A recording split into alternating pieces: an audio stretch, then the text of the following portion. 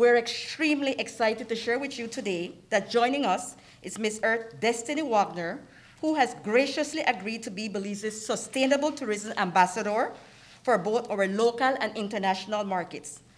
This occasion today is therefore a fitting one for us to make such an announcement as it solidifies our endeavors for sustainable tourism.